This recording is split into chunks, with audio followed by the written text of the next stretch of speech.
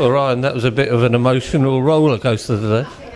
Yeah, obviously we were disappointed to go down uh, two goals, but we did well to fight back, and uh, it's a great three points.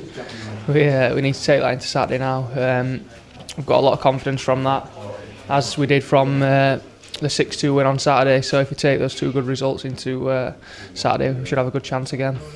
Showed a lot of spirit when you're 2 0 down, and we've just watched the second goal on the DVD. It was deliberate handball, and great spirit. Yeah, definitely. I think a couple of months ago, there's no way we'd have come back from that. Um, but the team spirit we showed there was, was great, as you say, um, to get the 3 2 win. And uh, we need to take that into Saturday now and, uh, and get ready for a big performance and another three points, hopefully.